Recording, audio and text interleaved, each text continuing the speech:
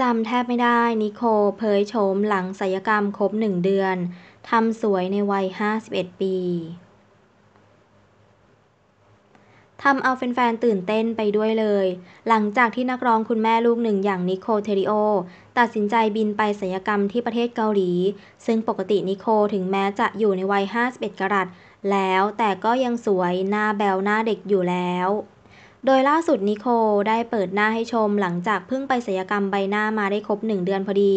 เรียกว่าแวบแรก แทบจำไม่ได้จริงๆ ว่าเป็นนิโคลเพราะหน้าเปลี่ยนอย่างเห็นได้ชัดทั้งตาและจมูก ซึ่งนิโคลได้เขียนแคปชั่นไว้ว่า ครบหนึ่งเดือนหลังทำศัลยกรรม ย้อนวัยครบชุดกับคุณเอและโรงพยาบาลนานา ยังบวมอยู่นะคะ ฝากติดตามนะคะ นี่แค่หนึ่งเดือนยังเริ่มเห็นความสวยมากขึ้นขนาดนี้ รอเข้าที่เมื่อไหร่นิโคเทริโอ ต้องสวยมากแน่ ๆ รอชมกันได้เลยจ้า